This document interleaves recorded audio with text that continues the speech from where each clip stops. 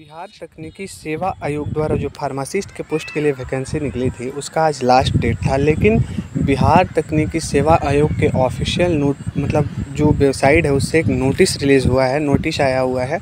आप यहाँ पे डेट देख पा रहे होंगे, उन्नीस पाँच दो हज़ार तेईस की ये जो नोटिस है, वही है।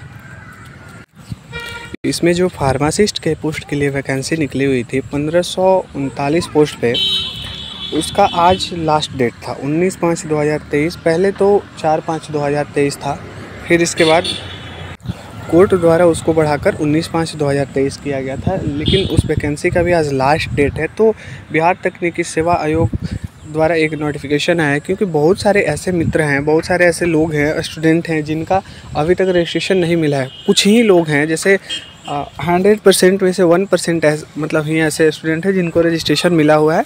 नाइन्टी नाइन परसेंट ऐसे स्टूडेंट हैं जिनको रजिस्ट्रेशन नहीं मिला। बहुत सारे लोगों ने अप्लाई कर कर दिया है, बहुत सारे लोगों ने अप्लाई नहीं किया है।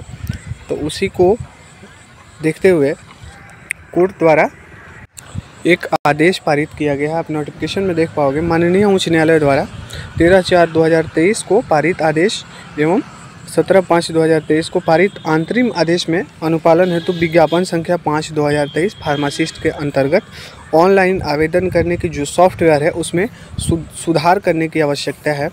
तो सॉफ्टवेयर संशोधन के पश्चात ऑनलाइन आवेदन प्राप्त करने हेतु पुनः पंद्रह दिन के लिए पोर्टल खोला जाएगा। उक्त तकनीकी संशोधन के पश्चात ऑनलाइन आवेदन करने हेतु तिथि अलग से मतलब ये बोली जा रही है कि जो अभी आज लास्ट डेट है तो आज के बाद ऐसा कोई नोटिफिकेशन नहीं है कि आज के बाद आप इस फॉर्म के लिए अप्लाई कर पाओगे।